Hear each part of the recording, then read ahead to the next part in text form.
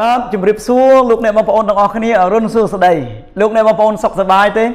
ខ្ញុំពិតជា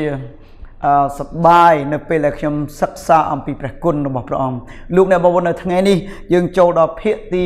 7ដែលនិយាយអំពីព្រះគុណរបស់ព្រះអង្គគឺព្រះគុណបាទរបស់ព្រះនាំឲ្យយើងមានដំណោះស្រាយអឺសម្រាប់ទំនាស់ផ្សេងផ្សេងនៅក្នុងជីវិតលោកអ្នកបងប្អូនមានដែរជួបទំនាស់អត់ ខ្ញុំជឿថាមានការអន់សុពន្ធចិត្តមានការទើសចិត្តមានអារម្មណ៍ដែលមិនសុខស្រួលអទាំងអស់នោះឲ្យសុទ្ធតែជាទំនាស់មានមានមានទំនាស់ទូចមានទំនាស់ធំល្មមមានទំនាស់ធំហើយមានទំនាស់ធំមែនតែនហើយកើតឡើងមកចេញពីរឿងតិចតួចស្រួចស្ដាង ចឹងមានរឿងមួយនៅក្នុងព្រះគម្ពីរអស់លោកអ្នកបងប្អូននៅក្នុងព្រះគម្ពីរលោកកបាត់លោកកបាត់ចំពុកទី13ខ5ដល់ខទី13មានរឿងមួយកើតឡើងខ្ញុំចង់អាននៅក្នុងខទី5ទៅលោកលុតដែលមកជាមួយលោកអាប់រ៉ាមក៏មានវងជៀមវងគោនិងមានជំរុំជាច្រើនដែរចង់ប្រាប់ថាលោកលុតជាក្មួយរបស់លោកអាប់រ៉ាម ហើយលោកអាប់រ៉ាមគាត់យកលោកលុតទៅជាមួយហើយយកទៅជាមួយទៅទ្រព្យសម្បត្តិរបស់គេបានកើនច្រើនឡើងក៏មានវងជៀមច្រើនវងគោច្រើនហើយមានជំរុំជាច្រើនដែរស្រុកនោះពុំមានលទ្ធភាពឲ្យលោកទាំងពីរនៅជាមួយគ្នាបានឡើយត្បិតលោកទាំងពីរមានសម្បត្តិច្រើនពេកជាហេតុធ្វើឲ្យរស់នៅជាមួយគ្នាមិនកើតណែការចេញមកពីស្រុករបស់អាប់រ៉ាមមក ចេញពីសាច់ញាតិមកទៅស្រុកដែលលោកមិនដែលបានស្គាល់សោះស្រាប់តែចេញទៅលោកអ្នកបងប្អូនឲ្យព្រះអង្គផ្ទាល់ព្រះអង្គបានប្រទានពរច្រើនដល់លោកអាប់រ៉ាមហើយលោកលុតដែលជាក្មួយទៅតាមអ៊ំសោះហ្នឹងក៏មានភោគទ្រព្យទ្រព្យសម្បត្តិច្រើនមែនទែនរហូតដល់ច្រើនពេកវាទៅជានៅជាមួយគ្នាមិនកើតណាពេលខ្លះនៅពេលដែលយើងនៅក្រីក្រនៅពេលដែលយើងខ្វះខាត គឺពេលហ្នឹងគឺដូចជាយើងសុខស្រួលណាស់ប៉ុន្តែនៅពេលដែលកើនទ្របរៀងរៀងខ្លួនណាគឺពេលខ្លះគឺមនុស្សមានការប្រទាំងបន្ទាស់មួយគ្នាកើនទ្របលោកអាប់រ៉ាមក៏កើនទ្របច្រើនក្មួយរបស់គាត់លោកលុតក៏កើនទ្របច្រើនចឹងថាអត់អាចឲ្យនៅជាមួយគ្នាអត់កើតទេខទី7ពេលនោះពេលនោះពួកគង្វាលវងសัตว์របស់លោកអាប់រ៉ាមនិងពួកគង្វាលវងសัตว์របស់លោកលុតកើតវិវាទនឹងគ្នា អ្នកកងវិលមួយអ្នកកងវិលចង់និយាយថាអ្នកបំរើអ្នកមើលជួយមើលការខុសត្រូវជួយមើលទ្របរបស់ចវាយគេទាំងសងខាងហ្នឹងមានវិវាទនឹងគ្នារីឯជនជាតិកាណាននិងជនជាតិពេរេស៊ីតក៏រស់នៅក្នុងស្រុកនោះដែរលោកអាប់រ៉ាមមានប្រសាសន៍ទៅលោកលុតទៅកាន់លោកលុតថាអ៊ំគាត់មើលទៅវាឃើញវាទាំងបន្ទាស់គ្នាគាត់ទៅអញ្ចឹងគឺអ៊ំរបស់គាត់ គឺអ៊ំដែលជាមេគ្រួសារដែលជាមេដឹកនាំដែលជាអ្នកនាំផ្លូវដែលជាអ្នកនាំយកព្រះពរមកឲ្យលោកអាប្រាំនិងក្រុមគ្រួសាររបស់គាត់មានបានធូធាហើយក៏ផ្ដល់ពរនឹងហូហៀទៅដល់ក្មួយរបស់គាត់ចឹងលោកមើលឃើញចឹងគាត់ក៏និយាយមកលោកអ៊ំនឹងគាត់និយាយថាអ៊ំសូមអង្វរក្មួយថាគាត់ដល់អង្វរថាអង្វរក្មួយ សូមកុំឲ្យមានចំនួនរវាងអ៊ំនិងក្មួយ ឬរវាងពួកកងវិលអំនិងពួកកងវិលរបស់ក្មួយឡើយត្បិតយើងជាបងប្អូននឹងគ្នាណែក្មួយណាក្មួយពីមុនមកយើងក្រីក្រយើងវាមិនសូវជាមានបានប្រមាណទេឥឡូវព្រះអង្គប្រទានពរយើងច្រើនមែនទែនអញ្ចឹងណាក្មួយកុំអោយរវាងអ៊ំនិងក្មួយនឹងឆ្លោះគ្នាណាក្មួយណាគឺអ៊ំពិតជាអង្វរក្មួយឯងអស់លោកអ្នកបងប្អូនដូចខ្ញុំបាននិយាយនៅពេលដែលទ្របកើនជួនកាលមនុស្សចាប់ផ្ដើមមានអារម្មណ៍ មានមោទនភាពបន្តិចក៏ប្រទាំងបន្ទាស់គឺទំនាស់ផលប្រយោជន៍បាទអញ្ចឹងទៅគាត់បានដល់សុំបងកុំឲ្យអស់មកនឹងក្មួយទាស់គ្នាបិទយើងជាបងប្អូនគ្នាខទី9ថាមើលនៅចំពោះមុខក្មួយ មានស្រុកទាំងមូលនៅទំនេរថាក្មួយឯងមើលហ្នឹងណូណូណូខាងណូខាងណូខាងណូមើលមានទីកន្លែងមានស្រុកទំនេរកន្លែងទំនេរច្រើនបាទដូច្នេះចូលក្មួយ អឺអឺចូលក្មួយបែកចេញពីអ៊ំទៅចុះហើយហើយហើយបើក្មួយទៅខាងឆ្វេងបើក្មួយទៅឆ្វេងអ៊ំនៅទៅខាងស្ដាំ ហើយបើក្មួយទៅខាងស្ដាំអ៊ំនឹងទៅខាងឆ្វេងថាឥឡូវក្មួយឯងរើសទៅរើសមួយណាក៏បានកន្លែងណាក៏បានកន្លែងណាដែលក្មួយយល់ថាល្អរើសបាទអាប់ប្រាមដែលជាអ៊ំគាត់ស្រឡាញ់ក្មួយគាត់បានប្រាប់ក្មួយគាត់ឲ្យជ្រើសរើសកន្លែងណាល្អក្មួយយកទៅ ទុកកន្លែងណាដែលក្មួយគិតថាមិនមិនចង់បានទេឲ្យអ៊ំដល់អញ្ចឹងក្មួយគាត់លូកលត់ងើបបុកឡើងសម្លឹងទៅឃើញតំបន់ទន្លេយ៉ូដិនទាំងមូល មានទឹកនៅគ្រប់ទីកន្លែងទៅអូកន្លែងហ្នឹងល្អតាទីកន្លែង នៅមុនពេលដែលព្រះអង្គម្ចាស់រំលាយក្រុងសូដុំនិងក្រុងកូម៉ារា ជាទឹកដីនៅកន្លែងនោះរហូតដល់ស្រុកសូអាប្រៀបបានទៅនឹងសួនឧស្សាហរបស់ព្រះអង្គម្ចាស់ គឺដូចទឹកដីនៅស្រុកអេស៊ីបដែរថាកន្លែងនោះមើលទៅល្អហ្មង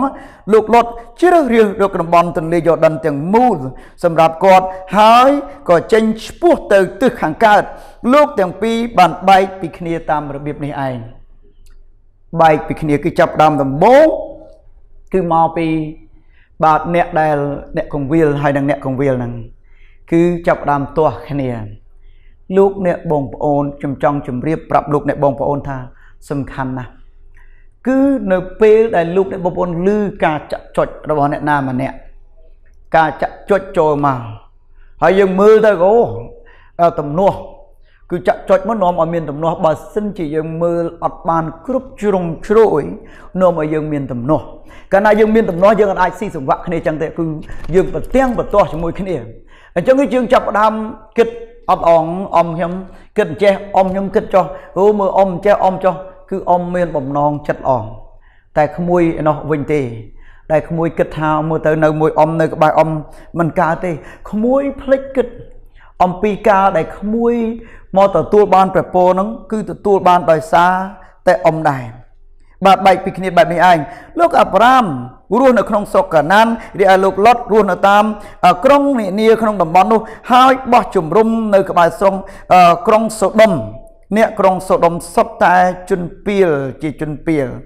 ដែលប្រព្រឹត្តអំពើបាបយ៉ាងធ្ងន់ធ្ងរប្រឆាំងជាមួយនឹងព្រះអង្គម្ចាស់លោកអ្នកបងប្អូនទំនាស់កើតឡើង គឺទំនាស់បុគ្គលទំនាស់បុគ្គលគឺពិតជាកើតឡើង នៅក្នុងសង្គមជាតិរបស់មនុស្សទាំងអស់នៅលើផែនដីនេះទំនាស់ផលប្រយោជន៍ទំនាស់បុគ្គល គឺពិតជាលំបាកពិតជាកើតមាន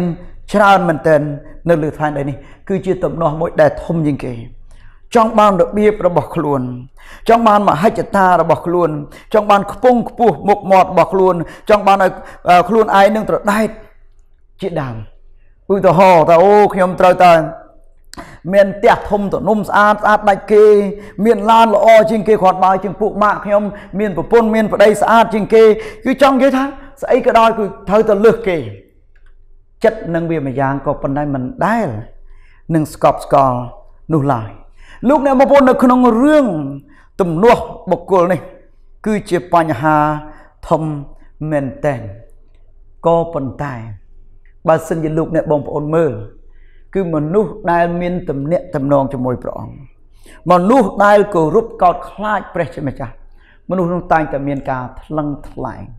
ហើយនៅពេលដែលទំនាស់បុគ្គលមកដល់លោកអ្នកបងប្អូនអស់ការថ្លឹងថ្លែង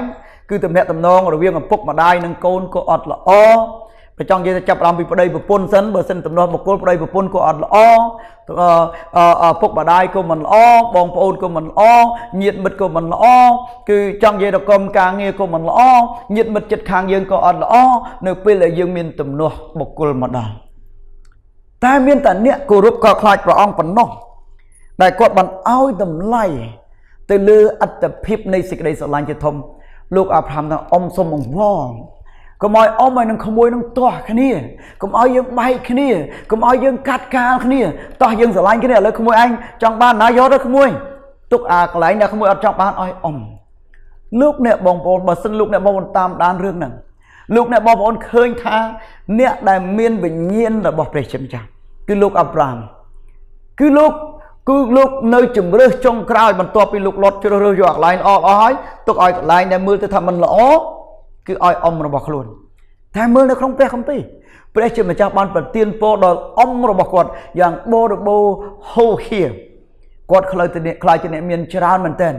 ទីបញ្ចប់លោកលុតគឺត្រូវទទួលបញ្ហាជាច្រើនលោកអ្នកបងប្អូនគ្រោះថ្នាក់អស់ទាំងទ្រព្យសម្បត្តិអស់ទាំងប្រពន្ធអស់អីទាំងអស់លោកអ្នកបងប្អូននេះគឺជាបញ្ហានៅពេលដែលមនុស្សជ្រើសរើសយកអ្វីដែលជាផលប្រយោជន៍ ធំរបស់ខ្លួន ទីបញ្ចប់អស់មានញាតអស់មានសន្តានអស់មានមិត្តភ័ក្តិអស់មានអីទាំងអស់អ្នកនោះអ្នកដែលតែងតែជ្រើសរើសយកប្រយោជន៍បុគ្គលជ្រើសរើសយកប្រយោជន៍ផ្ទាល់ខ្លួនអ្នកនោះគឺយកបញ្ហាចូលមកខ្លួន ទីបញ្ចប់គឺគាត់ដាក់ដាក់ចំណងចងខ្លួនឯងគឺគាត់មិនមានសេរីភាពដើម្បីមានទំនាក់ទំនងល្អជាមួយអ្នកណាទាំងអស់គាត់អស់មិត្តអស់អីទាំងអស់លោកអ្នកបងប្អូននៅថ្ងៃនេះខ្ញុំចង់ជម្រាបប្រាប់លោកអ្នកបងប្អូនថាព្រះគុណរបស់ព្រះអង្គ ជួយលោកអ្នកបងប្អូនហើយនឹងខ្ញុំឲ្យគិតអំពីព្រះគុណហើយនឹងសេចក្តីមេត្តាករុណាឲ្យគិតអំពីអ្នកដទៃជាជាងមើលមកកាន់ខ្លួនឯងលោកអ្នកបងប្អូនកាលណាយើងមើលឃើញព្រះគុណរបស់ព្រះអង្គតាមរយៈព្រះគុណរបស់ព្រះអង្គយើងឃើញអ្នកដទៃទាំងអស់សុទ្ធតែសំខាន់សំខាន់សំខាន់សំខាន់យើងមិនមើលឃើញខ្លួនឯងសំខាន់ជាងអ្នកដទៃទេថ្ងៃនេះខ្ញុំលើកទឹកចិត្តលោកអ្នកបងប្អូនទាំងអស់គ្នាឲ្យចូលទៅរកព្រះគុណ របស់ព្រះអង្គអធិដ្ឋានសម្រាប់ព្រះគុណរបស់ព្រះអង្គដើម្បីឲ្យលោកអ្នកបងប្អូនមានជ័យជំនះទៅលើទំនាស់បុគ្គលផ្សេងផ្សេងដែលជាគេផ្សេងមិត្តភ័ក្តិឬក៏សាច់ញាតិឬក៏ក្រុមគ្រួសារវានឹងមានអតិពលនឹងប៉ះពាល់ដល់លោកអ្នកបងប្អូនផ្ទាល់តែម្ដង ប៉ុន្តែនៅពេលដែលលោកអ្នកបងប្អូនបានយល់អំពីព្រះគុណយល់អំពីសេចក្តីស្រឡាញ់យល់អំពីភាពមេត្តាករុណាដែលមកពីព្រះអង្គលោកអ្នកបងប្អូននឹងជ្រើសរើសយកព្រះគុណហើយនឹងសេចក្តីស្រឡាញ់ព្រះអង្គផ្ទាល់ជាអ្នកជួយដោះស្រាយនៅទំនាស់បុគ្គលនឹងទីបញ្ចប់គឺអាប់រ៉ាហាំផ្ទាល់គាត់បានអធិដ្ឋានសុំកុំអោយព្រះអង្គបានបំផ្លាញទីក្រុង ដែលក្មួយគាត់រស់នៅ លោកអ្នកបងប្អូននេះឯង គឺជាអ្វីមួយដែលព្រះអង្គទ្រង់មាន នៅក្នុងព្រះហត្ថីរបស់ព្រះអង្គចូលជ្រើសរើសយកព្រះគុណនិងសេចក្តីស្រឡាញ់និងសេចក្តីមេត្តាករុណារបស់ព្រះអង្គព្រះអង្គនឹងជួយដោះស្រាយទំនាស់ពិសេសគឺទំនាស់នៅក្នុងជីវិតរបស់លោកអ្នកបងប្អូនអនុញ្ញាតឲ្យខ្ញុំអធិដ្ឋានសម្រាប់លោកអ្នកបងប្អូនតិចព្រះបិតាដ៏មានបច្ចុប្បន្នគង់ណាស់ទូបង្គំសូមអរគុណព្រះអង្គសម្រាប់បងប្អូនរបស់ទូបង្គំ ទូបង្គំមិនដឹងថាអ្នកណារស់នៅក្នុងជីវិតបែបណាកំពុងតែមានទំនាស់បុគ្គលដោយរបៀបណាព្រះអង្គសូមបំពេញដួងចិត្តទូបង្គំទាំងអស់គ្នាជាមួយព្រះគុណហើយនឹងសេចក្តីស្រឡាញ់និងសេចក្តីមេត្តាករុណារបស់ព្រះអង្គកុំឲ្យមាននរណាម្នាក់បានគិតពីរឿងអាត្មានិយមគិតពីរឿងតែខ្លួនឯងជាជាងគិតអំពីអ្នកដទៃទៀតព្រះអង្គឲ្យសូមឲ្យទូបង្គំទាំងអស់គ្នា ជាអ្នកដែលមានសេរីភាព នៅក្នុងការរស់នៅ ដោយពឹងអាងទៅលើព្រះគុណរបស់ព្រះអង្គយើងមិនពឹងទៅលើទ្រព្យសម្បត្តិយើងមិនពឹងទៅលើអ្វីទេប៉ុន្តែយើងផ្ញើជីវិតរបស់យើងទៅលើព្រះអង្គដែលជាប្រភពនៃអ្វីទាំងអស់ទូបង្គំជឿជាក់ថាព្រះអង្គនឹងផ្គត់ផ្គង់នៅរាល់តម្រូវការរបស់ទូបង្គំទាំងអស់គ្នានឹងដោះស្រាយនៅរាល់បញ្ហារបស់ទូបង្គំទាំងអស់គ្នាទូបង្គំទាំងអស់គ្នានឹងបន្តជាមនុស្សដែលនាំសន្តិភាព និងសេចក្តីសុខសាន្តដល់មនុស្សដែលនៅជុំវិញទូបង្គំទាំងអស់គ្នាក្នុងព្រះនាមព្រះអម្ចាស់ព្រះយេស៊ូវគ្រីស្ទសូមព្រះអង្គប្រទានពរសូមជម្រាបលាលោកអ្នកបងប្អូនទាំងអស់គ្នាជួបគ្នានៅពេលក្រោយអរគុណច្រើន